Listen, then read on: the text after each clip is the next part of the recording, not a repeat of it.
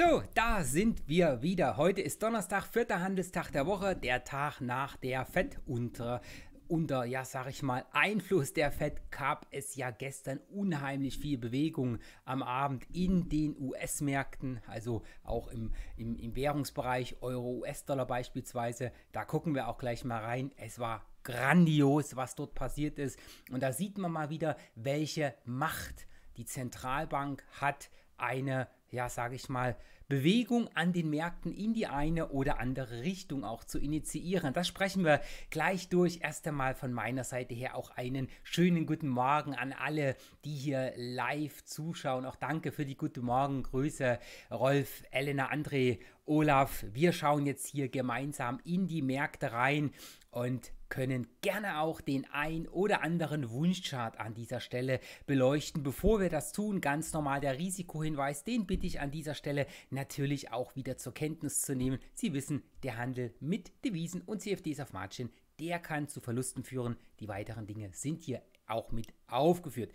Jo, was machen wir dann? Dann machen wir ganz normal die Tagesvorbereitung. Heute steht hier drüber Auszug. Warum? Ich habe das, was heute hier los ist, worauf wir immer mal so ein bisschen schauen, einfach nicht auf dem Bildschirm draufgeklickt bekommen. Das heißt, wir schauen jetzt einfach mal rein ins Web. Ich hole mal eben den äh, Nachrichtenkalender mit ins Bild hinein hier und da sehen wir, was wir heute hier an dieser Stelle alles bekommen werden. Wir haben heute Nacht schon ein paar Nachrichten aus China bekommen. Ihr wisst oder Sie wissen, China ist momentan auch sehr, sehr wichtig und sehr, sehr stark von den Märkten beachtet, sonst auch immer. Ähm, aber wir haben ja immer noch diese Besonderheit, in Anführungsstrichen sage ich mal, ähm, dass es so naja, die Verhandlungen zwischen China und den USA gibt, also Thema Handelsstreit. Und da schaut man natürlich ganz genau drauf, wie wirkt sich das denn auf die Wirtschaftsleistung von China auf. Und deswegen haben wir hier immer wieder wichtige Nachrichten auch aus China und die nehme ich, habe ich gesagt, auch immer wieder hier mit rein. Wir haben heute Nacht den Einkaufsmanager-Index bekommen und wir sehen es hier an den grünen Zahlen, einmal fürs verarbeitende Gewerbe und dann für das Dienstleistungsgewerbe. Beide Bereiche lagen über den Erwartungen das ist schon mal ein gutes Zeichen an dieser Stelle, dass wir hier nicht drunter ähm, gelegen haben. So, was kommt jetzt noch? Wir hatten hier was Wichtiges aus Deutschland, die Einzelhandelsumsätze für den Monat Dezember. Dezember ist ja auch ein Weihnachtsmonat. Ähm, Prognose war hier ein Rückgang von 0,5 Prozent. Wir sehen es. 4,3% Minus. Das ist schon ähm, derbe mehr als das, was die Erwartungen gewesen sind. Schauen wir mal, was der Markt nachhaltig hier daraus auch macht. Was gibt es noch hier bei uns heute? Aus Deutschland haben wir das Thema Arbeitslosigkeit auf der Uhr. Um kurz vor 10 gibt es die Arbeitslosenzahlen hier bei uns aus Deutschland. Wir sehen es auch, es wird nicht wirklich was ähm, Gravierendes an Änderungen erwartet, was die Arbeitsquote auch angeht. Lassen wir uns da mal entsprechend überraschen. Um 11 Uhr geht es dann weiter mit dem Bruttoinlandsprodukt aus der EU. Das Ganze hier und um 11 Uhr auch noch die Arbeitslosenquote für den Monat Dezember aus der EU. Und um 11.15 Uhr spricht äh, ein EZB. B-Mitglied. Dann wechseln wir mal in den Nachmittag hinein. Hier geht es um einige Nachrichten zum Thema Konsumentenausgaben. Äh, da kriegen wir um 14.30 Uhr Informationen darüber. Ähm, dann haben wir das Thema der Arbeitskosten. Die schlagen ja bei den Unternehmen auch zu Buche. Da muss man einfach schauen, das hatten wir im Beachbook ja auch schon immer mal gesehen, äh, wie verändern sich denn die Kosten und können diese Kosten von den Unternehmen gut getragen werden. Preissteigerungen, Lohnsteigerungen ist alles kein Problem, wenn sich das Ganze trägt. Hier bekommen wir ein paar Informationen aus diesem Bereich. Um 14.30 Uhr gibt es dann auch die Erstanträge auf Arbeitslosenhilfe. Wir bekommen auch noch die Informationen zu den Privatausgaben. Auch immer wichtig, der Konsum in den USA ist ja ein sehr, sehr wichtiger Wirtschaftsfaktor.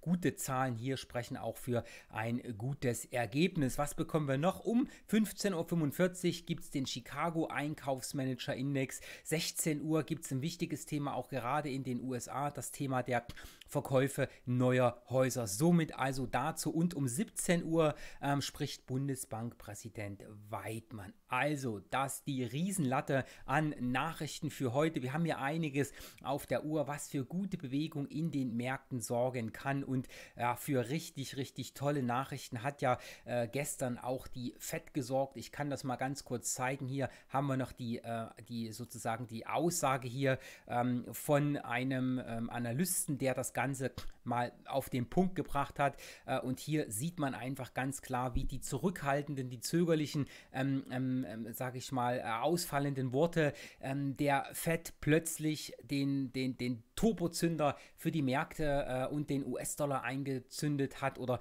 losgestartet hat und dann hat es richtig geknallt in den Indizes beziehungsweise auch im US-Dollar. Der US-Dollar übrigens hat mir auch dann äh, im Nachgang noch einen Strich durch eine Handelsidee für den heutigen Tag gemacht. Diejenigen, die schon mal einen Blick geworfen haben, ich hole mal kurz die Website äh, noch mit drauf, äh, hier von Tickmill. Ich habe ja immer oder ich stelle hier jeden Morgen hier die Tages- Ideen mit hinein im Blog und da gibt es normalerweise immer drei Ideen und man legt sich ja so die wichtigsten Sachen immer am Abend vorher ähm, auch zurecht, bereitet das Ganze schön vor. Ich hatte heute auch noch Euro, US-Dollar drinnen, aber man sieht, sonst habe ich immer drei Währungspaare. Nicht wundern, es hat zerschossen ich hatte heute Morgen ähm, keine Zeit mehr, noch nach einer dritten Handelsidee zu schauen. Wir sprechen heute über den Euro-US-Dollar, aber nicht wundern, heute ausnahmsweise zwei Handelsideen, weil die dritte ist völlig in Rauch aufgelöst worden, nach dem, was die FED hier entsprechend auch gesagt hat. Und damit gehen wir mal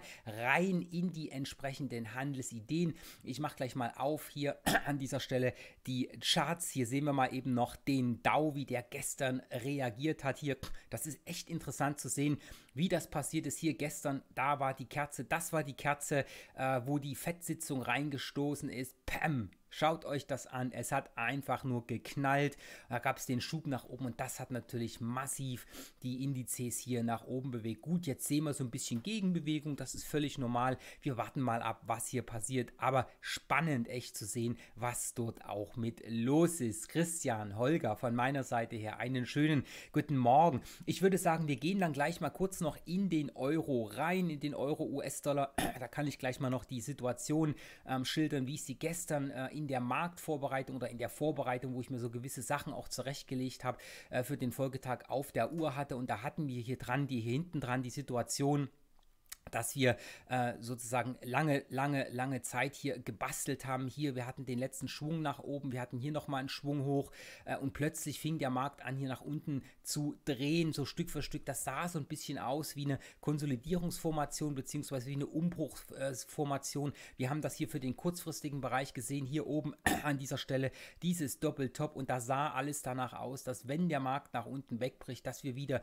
die Richtung nach unten einschlagen und dann Tja, dann kam die Fett und hat nach oben geknallt. Und hier sehen wir es. Da macht natürlich das keinen Sinn, das Ganze hier an dieser Stelle so zu beobachten. Jetzt haben wir hier, wenn wir das Ganze mal sehen, auf Tagesbasis einfach nur eine schöne, ähm, ja, wie soll ich sagen, Fahnenstange hier. Wir hatten zuerst die Fahnenstange nach unten. Die hat hier unten in dem Bereich um die Marke von 1.12.9 äh, ihr Ende gefunden und danach ist die nächste Fahnenstange gekommen nach oben. Die läuft jetzt massiv nach oben. Gestern, wie schon gesagt, der Spike, wir haben es gesehen hier in den kleinen Einheiten sind wir hier unter die Tiefs oder beziehungsweise unter die Korrekturtiefs der Stunde gelaufen, haben so ein bisschen Abwärtstendenz gezeigt. Dann hat der Markt durch die Nachrichten alles negiert. Und da sehen wir auch mal wieder, ähm, wenn wichtige wirtschaftliche Nachrichten kommen, dann hat die Markttechnik, die Dow-Theorie, die Trendtechnik, wie auch immer man das Ganze bezeichnen möchte, einfach keine Relevanz. Da schiebt der Markt einfach in eine Richtung und fertig ist. Jetzt läuft es hoch.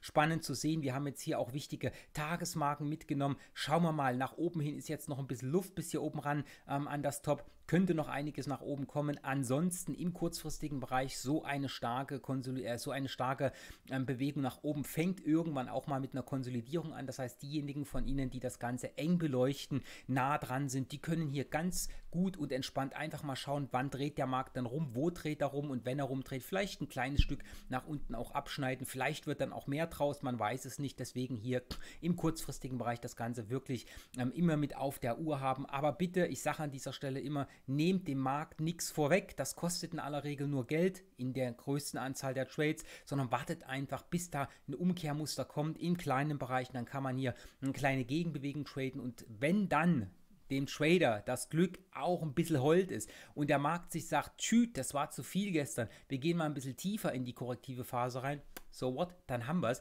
und dann läuft das Ganze auch mit Blick nach oben. Also wie schon gesagt, da könnte was gehen als Gegenreaktion, die Fahnenstange, wenn sie mal korrigiert und wenn nicht, dann läuft es halt weiter. Das an dieser Stelle auf alle Fälle. Ja, gut. Holger, Genau.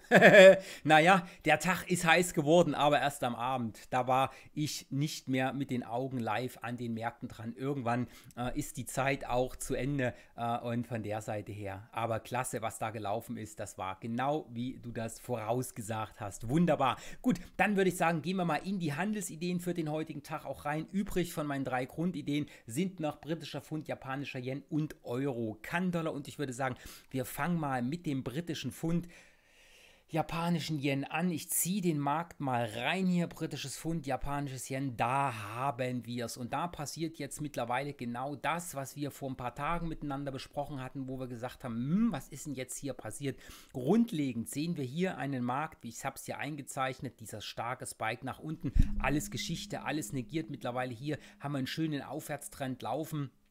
Ähm, und dieser Aufwärtstrend, wenn er sich denn fortsetzt, hat natürlich auf die Oberseite auch das Potenzial, sich fortzusetzen. Heißt im kurzfristigen Bereich, wenn es hier zum Bruch nach oben kommt, also wenn wir tatsächlich aus dem Korrekturkanal ausbrechen, dann haben wir hier im ganz kurzfristigen Bereich halt natürlich das, wo viele drauf Wert legen im Kurzfristbereich, die Tageshochs liegen, aber auf Trendsicht natürlich hier oben das Trend hoch um die Marke von 144,840 und danach den Widerstand hier oben bei 145. Ach, das sind mal Marken auf der Oberseite, wo wir dann doch gutes Potenzial haben. Wenn der Markt bis hier ranläuft, ist ordentlich Potenzial da, läuft darüber hinaus natürlich an der Stelle auch noch ganz weit geblickt, wenn es tatsächlich deutlich nach oben gehen sollte. Hier oben dieser Hochbereich, das beleuchten wir aber ein anderes Mal. Das soll nicht Thema für heute sein. Für heute ist das Thema, wie geht es denn hier weiter? Ne? Weil der kann ja auch weiter nach unten korrigieren, der Markt.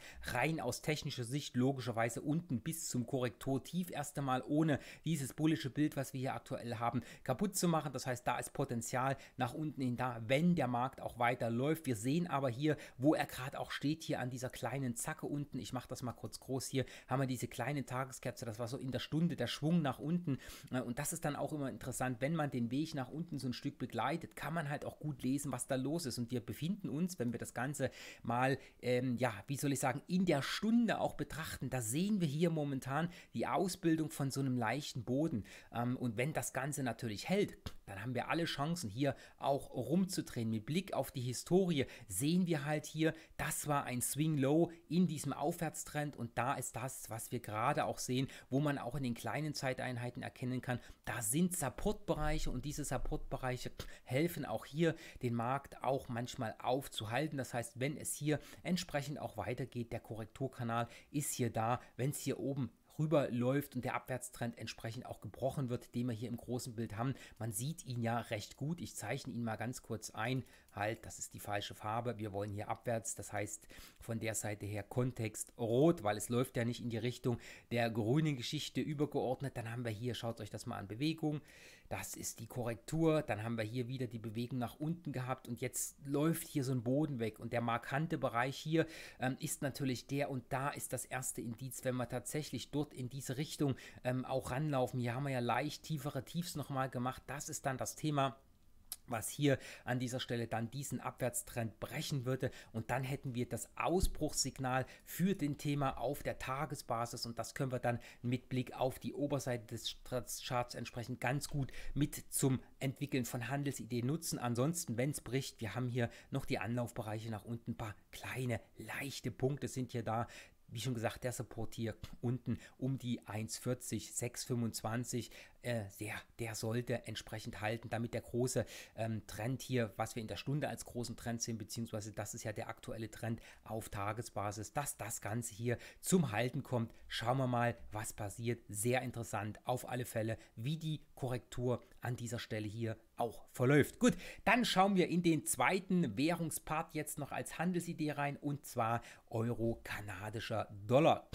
Einmal hier, einmal im Tageschart, einmal mit Blick auf einen Markt, der Abwärtsdruck verspürt. Abwärtsdruck, warum? Hier oben, wir sehen es, massiver Schub nach unten, das Ganze auch trendig. Hier unten jetzt ein Support um die Marke von 1,50 6 in etwa. Da hat der Markt jetzt hier schon ein paar Mal gedreht, immer ein paar Mal raufgelaufen, aber wir sehen halt, auf der Oberseite hat der Markt auch immer früher angefangen zu verkaufen. Damit sehen wir, der Druck, der kommt so ein bisschen von der Oberseite. Steffen, guten Morgen. Oberseitendruck heißt, es könnte passieren, dass sich diese Dynamik, die von hier oben kommt, einfach fortsetzt. Sprich, hier unten drunter, unter diese Marke drauf. Was haben wir dann als Ansatzpunkte hier im mittelfristigen Bereich? Wo sind Marken, an denen der Markt schon mal visuell tatsächlich auch angehalten hat. Das haben wir hier unten in dem Bereich von 1,49,726 beziehungsweise hier haben wir um die Marke von 1,49,15 auch Werte gehabt, wo wir reingelaufen sind und dann auch deutlich mit nach oben abgestochen haben. Also das zur Unterseite, wenn der Markt hier runterläuft. Dieses Tingeltangel hier, natürlich gibt das für kurzfristige Trader auch immer wieder die Möglichkeit reinzugehen, mit Blick auch auf diese abfallende Trendlinie hier an dieser Stelle. Da geht es natürlich auch immer drum, läuft der Markt dran, dreht darum, kann man im kurzfristigen Bereich hier unten natürlich auch gleich auf die Richtung der fallenden Kurse gehen. Kommt allerdings dazu, dass der Markt mal nach oben schießt, hier über dieses Tageshoch drüber, dann könnte es kurzfristig Dynamik geben in die Tageshochs hier oben hin um die 1,52,245 beziehungsweise weiter gesehen. Wir haben hier noch ein paar liegen. Ähm, das sind Dinge, die können wir hier auch für kurzfristige Trades nach oben natürlich mit möglicherweise als Anlaufpunkte sehen. Wenn man mal schaut, wo hier Spikes gewesen sind, die vom Markt sozusagen im Trendverlauf als Korrektur hoch gesehen werden könnten, dann müssen wir hier oben natürlich über diesen Punkt von der Marke von 1,53,062 mit rangehen. Übrigens diese Tageshochs, die hier liegen, die werden, äh, sag ich mal, gut und gerne von Tradern auch beachtet, aber die höchste Relevanz haben natürlich zeitnahe Tageshochs ähm, und das, deswegen schaut man ja gerne auch auf das Vortageshoch. Ähm, je älter diese Tageshochs werden, je weniger Bewegung bzw. je weniger Bedeutung ähm, haben diese Punkte. Das ist in der Regel Regel so, aber sie sind halt da, man kann sie beachten und die finden vom Markt halt auch häufig Beachtung. Deswegen kann man mal auch schauen, was an diesen Stellen hier natürlich auch bewegt werden kann. Gut, damit also genug zum Euro Kann-Dollar. Jetzt schaue ich mal eben noch in die Chats hinein, ob ich Fragen habe. Holger, britisches Pfund, Schweizer Franken bitte. Danke, mache ich natürlich gerne. Gleich mal rein in den Tageschart. Britisches Pfund, Schweizer Franken. Muss ich etwas runterscrollen. Da ist er. Zack, einmal rüber. Jupp. Ja, das sieht natürlich auch wieder klasse aus. Eine wahnsinnig schöne Aufwärtsbewegung hier. Fahnenstangen, kurze Korrektur, Schub nach oben. Also der Markt hat hier mal kurz Luft geholt. Jetzt ist natürlich wieder interessant. Holger, wenn du fragst, kriegen wir immer sehr, sehr schöne Kanäle angezeigt. Das ist gut und interessant. Ähm, was sehen wir hier? Wir sehen hier mit Blick in diesen Markt natürlich erst einmal, dass dieser Markt sehr, sehr, sehr weit gelaufen ist. Hier in dem Schub nach oben. Wenn wir uns das Ganze mal auf Wochenbasis angucken, sehen wir das auch. Wir haben hier sozusagen sozusagen 1, 2, 3, 4 Handelswochen im Stück nach oben. Und da ist es interessant, wo hat der Markt denn angehalten? Wo hat der Markt erst einmal umgedreht, äh, um Luft zu holen? Und das ist hier oben dieser Top-Bereich von diesem, von diesem markanten ähm, Swing High, was wir hier oben gehabt haben, bevor der Markt wieder rumgedreht ist. Das heißt, hier oben ist so ein bisschen ein Widerstandsbereich. Das ist natürlich das, wo der Markt hier rangelaufen ist.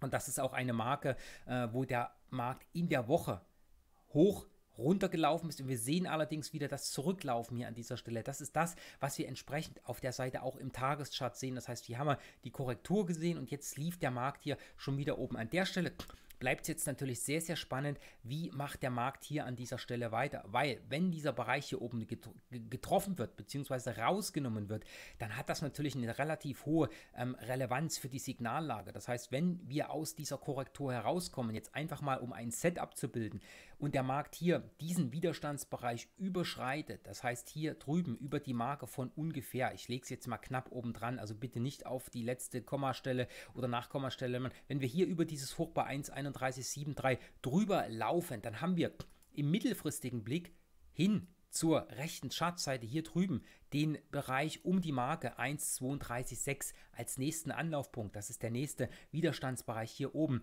ähm, an dieser Stelle. Heißt also, aufpassen, was hier passiert. Und wenn wir hier tatsächlich Long-Umkehrmuster bekommen, warum nicht traden? Die Chancen nach oben sind auf alle Fälle da. Das sieht man jetzt immer auch im kurzfristigen Bereich, wer sich sagt, ich will jetzt von hier aus mal nach oben traden, mit Blick in die Stunde. Ähm, diejenigen, die den mittelfristigen Bereich, also auf Tagesbasis nach oben traden äh, würden, da wäre ich momentan in der Stunde noch ein ganz kleines bisschen ähm, vorsichtig, wenn wir hier äh, sozusagen mit Relevanzen traden, hier weit, weit, weit nach oben zu laufen. Das heißt, wenn man jetzt den Stundentrend als Relevanz nimmt und dann die fünf Minuten in die Stunde tradet, weil der Abwärtstrend auf Stundenbasis in der, in der Stunde sozusagen beendet wurde. Ich gehe gleich mal in die Stunde rein. Das heißt, hier haben wir jetzt diesen laufenden Abwärtstrend. So, der ist jetzt einfach nur in seiner Korrektur. Ja, hier oben hat er seinen Peak gehabt. Das ist halt immer so ein bisschen blöde, ähm, weil die Peaks so weit oben hier auch zusammengelegen sind. Aber warten wir mal ab. Hier könnte sich jetzt untergeordneten Aufwärtstrend bilden. Aber die Signallage, und das ist das, was ich meine, wenn wir jetzt in den Tag rein traden, also Stunde in den Tag, da wäre ich noch ein kleines bisschen vorsichtig, ähm, von, der, von der Relevanz die Ziele zu weit wegzulegen. Das heißt, wenn ich jetzt hier reingehe und ich sage, okay, ich gehe hier oben raus, dann ist das für mich jetzt von der zeitlichen Relevanz völlig okay. Aber wenn ich sage, ich will jetzt hier reingehen, ähm, von meiner Position und sage, ich möchte in den Tageschart hoch auf die nächsten Widerstandsbereiche traden, das könnte hier an dieser Stelle unter Umständen schiefgehen, weil wir noch ein bisschen früh dran sind. Das heißt, da wären fünf Minuten in die Stunde ein bisschen un sag ich mal, ungeeignet, weil solange wie das Ding hier noch nicht rausgenommen worden ist, ist einfach hier die, das Risiko relativ hoch. Aber nichtsdestotrotz, die Chance ist entsprechend ja auch da. Was wir hier momentan sehen, ist halt die Korrektur dieses Abwärtstrends und da müssen wir erstmal warten, was hier nach oben passiert. Das heißt, auf Tagesbasis haben wir hier noch keine Umkehr. Warum? Wir bewegen uns, wenn wir uns hier in den Tag das Ganze mal anschauen, wir bewegen uns innerhalb einer Außenkerze hier. Hier haben wir eine Außenkerze, hier ist natürlich noch eine. Also das ist verschachtelt ineinander und das sind halt die Marken, die wir hier oben drinnen haben, die wichtigen Punkte. Heißt also, was möchte ich hier erwarten? Ich meine, wenn der Markt jetzt direkt wieder nach oben schiebt im kurzfristigen Bereich, ist das natürlich definitiv ein Zeichen von Stärke. Dann kann es hier drüber rausgehen und den Markt nach oben schieben. Das ist das eine. Kriegen wir einen Korrekturkanal nach unten, dann gibt uns die Stunde die Chance, dann wirklich von unten raus reinzudrehen. Und wenn die Stunde dann rumdreht aus einer etwas tieferen Korrektur, weil momentan ähm, ist halt auch von der Korrekturseite her technisch gesehen auch Potenzial nach unten da. Im mittelfristigen Bereich würde ich die Signallage erstmal abwarten, was hier bei dieser Kerze passiert. Und das ist halt dann immer so der kleine Nachteil aus flachen Korrekturen heraus, gerade wenn wir Kerzen mit solchen Spikes sehen. Da kommt man halt, wenn man wirklich auf ordentliche Signallagen warten möchte, manchmal erst relativ spät in den Trade rein. So what, das müssen wir als Händler sehen. Oder aber man geht das Risk und versucht hier unten etwas zu erwischen, sich eng abzusichern und im blödesten Fall dann tiefer nochmal einzusteigen. Die Chance nach oben ist auf alle Fälle da. Mit Blick ähm, auf Korrektur, was gibt es als Korrekturpotenzial nach unten noch? Hier mit Blick auf das, was im Tageschart geschehen ist, natürlich Anlaufbereich hier, das Ausbruchslevel, also ein Wert, der immer mal gerne angelaufen wird und dann rein aus technischer Natur könnte der Markt natürlich noch bis hier runter korrigieren. Also für die Trade-Planung haben wir hier einige schöne Marken, wo es reingehen könnte. Spannend bleibt hier, was wird in dieser Kerze? Gibt es hier einen Ausbruch auf die Oberseite? Das wäre interessant. Das wäre erstmal ein temporäres Zeichen von Stärke. Und wenn wir das Ding dann hier oben wuppen, dann haben wir echt die Chance, hier dieses Hoch rauszunehmen um die 1,31,7 und danach weiter hochzulaufen auf den Markt, den ich hier oben beziffert habe mit der Marke um die 1,32. 654. Das mein Blick in britisches Pfund Schweizer Franken. Gerne und damit keine weiteren Fragen. Alles klar, dann sage ich danke für die Zeit. Und morgen geht es dann weiter mit den Handelsideen. Morgen schauen wir auch auf die große Wochenplanung der Nachrichten für die kommende Woche. Und dann schauen wir selbstverständlich auf die großen Charts der großen Indizes. Und ich hatte es ja gestern auch avisiert, im edukativen Bereich schauen wir mal, wie so ein Währungstrade denn wirklich funktioniert, weil das ist jetzt nicht nur kaufen und verkaufen, das ist das, was wir sehen. Im Hintergrund passiert ein bisschen was, da gibt es ein paar Informationen, die wir als Trader dazu nutzen können, auch mal Preisvergleiche zu machen. Wir sollen ja oder wir wollen ja als Trader auch bei guten Brokern arbeiten, weil das ist ein tolles Werkzeug, wenn man einen guten Broker hat, wie wir den hier bei Tickmill auch haben. Da gucken wir morgen mal rein, wie wir das Ganze anstellen, das Währungstrading gut und gerne von der Pike auf ähm, zu verstehen. Das machen wir morgen. In diesem Sinne allen einen tollen Tag und bis morgen. Tschüss, euer, ihr Mike Seidel.